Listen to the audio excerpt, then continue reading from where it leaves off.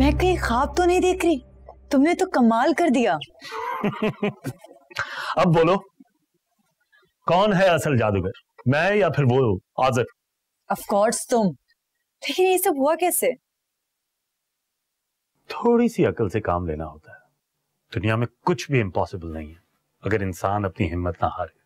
Thank you so much Farhan तुमने तो वो काम कर दिखाया जो शायद कोई नहीं कर सकता था मैं खुद भी नहीं। तुम्हारा एहसान रहेगा मुझ पर ज़िंदगी भर। दोस्त ही तो दोस्तों के काम आते हैं। तुमने मेरे बताए हुए प्लान को फॉलो किया। अब उसका नतीजा तुम्हारे सामने है। तुम्हारे साथ और तुम्हारी हेल्प के बगैर मैं कुछ भी नहीं कर सकती थी। तुमने मेरी ज़िंदगी का सबसे बड़ा कांटा निकाल दिया। तुम जिसे ज़िंदगी का कांटा समझ के डर रही थी उसकी तो इतनी भी औकात नहीं है कि उससे खौफ खाया जाए। वो तो हकीकत में तुम्हारे रास्ते में पड़ा हुआ एक छोटा सा पत्थर थी। तुम्हें लगता है कि मिनाल और आजर एक दूसरे को आसानी से भूल पाएँगे? भूल पाएँगे? नफरत करेंगे एक दूसरे से। एक दूसरे का नाम भी लेना पसंद नहीं करेंगे। इतना पक्का काम किया है मैंने।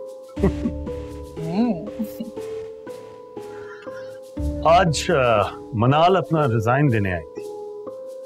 व्हाट तुम मुझे एक और खुशखबरी दे रहे हो? हाँ लेकिन मैंने उसका रिजाइन एक्सेप्ट नहीं क्यों। तुमने रोका क्यों उसे? जाने क्यों नहीं दिया? मैं तुम्हें यही कहने वाली थी कि तुम उसे इस नौकरी से निकाल दो।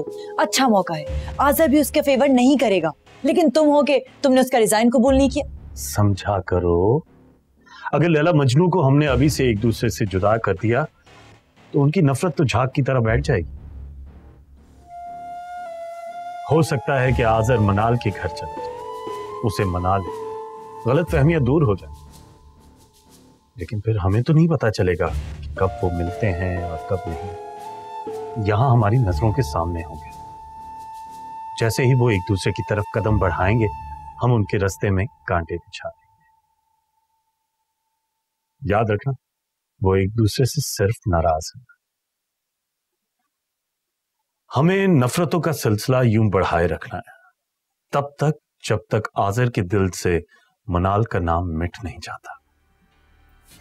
Okay boss. जैसा तुम कहोगे अब मैं वैसे ही करूँ। अपने अल्फाज याद रखना। तुम मुझसे कह रही हो जैसा मैं कहूँगा वैसा ही तुम करोगे। मैं आजर के लिए कुछ भी कर सकती हूँ। कुछ भी। और मेरी खातिर? मेरे लिए क्या कर सकती मतलब? मुस्कुरा दो मेरी खातिर मुस्कुरा तो सकती ही हो। थैंक्स अगेन तो what?